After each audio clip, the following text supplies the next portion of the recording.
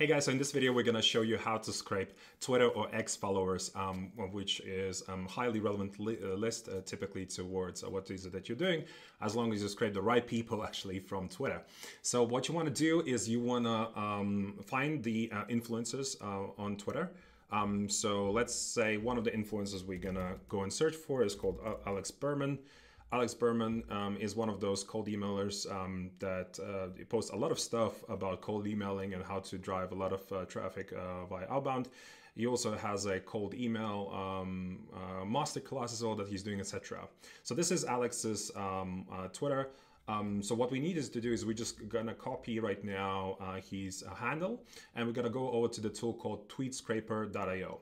On tweetscraper.io, um, once you log in, once you get a plan, you can see I have a few credits here, 2.5K, and we're gonna go to the scrape followers section and we're gonna um, essentially um, paste in Alex's um, handle. So here we go.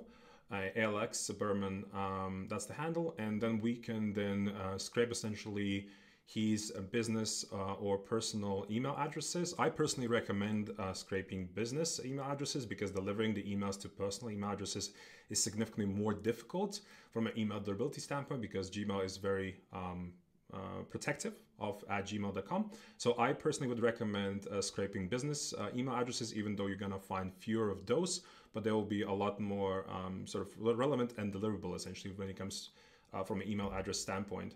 Um, you can also set minimum and maximum followers. Um, also have a bunch of other um, um, filters as well in here, but this is all really that I need.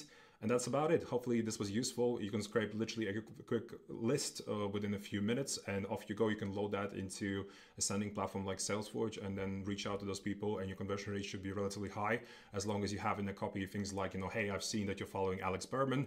I was wondering whether you're, let's say, interested in a tool like, let's say, Mailforge.ai, um, which allows you to set up the infrastructure. So yeah, hopefully this was useful. Uh, if you got any feedback or comments, feel free to leave them below. Cheerio.